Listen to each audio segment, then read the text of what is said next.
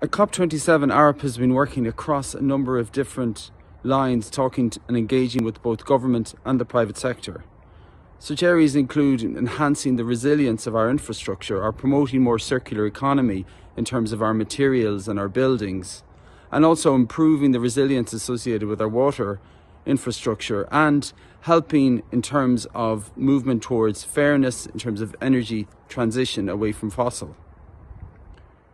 But as we read the announcement today, I've certainly a number of takeaways, and I, my main one is that I think it has slightly fallen short in terms of the ambition that we had and the goals for the agreement in advance of coming to Egypt.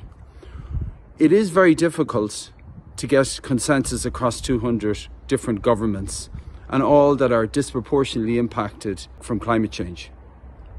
While I believe that the text has fallen short of the overall goals that we had in coming to Egypt, my view is that there are four important takeaways.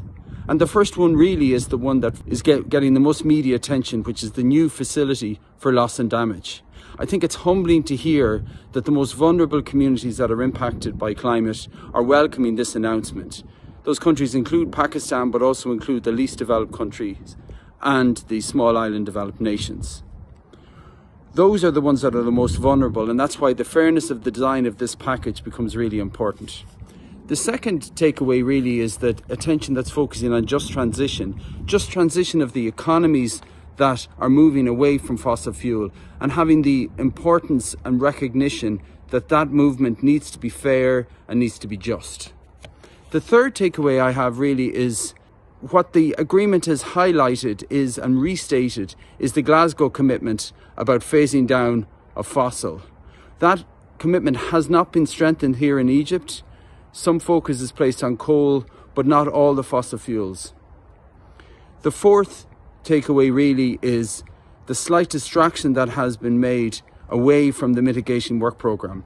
It is really important that our 1.5 degree goals are achieved and that that is seen as being a limit rather than a target in terms of what the parties are trying to achieve.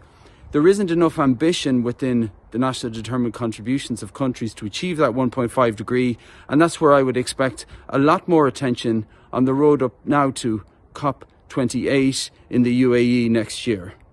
There are still large gaps in terms of emissions reductions, and a lot of activity needs to be concentrated to fill those gaps. And that activity can happen across energy systems, transportation systems, water systems, and improving the resilience of communities and the most vulnerable.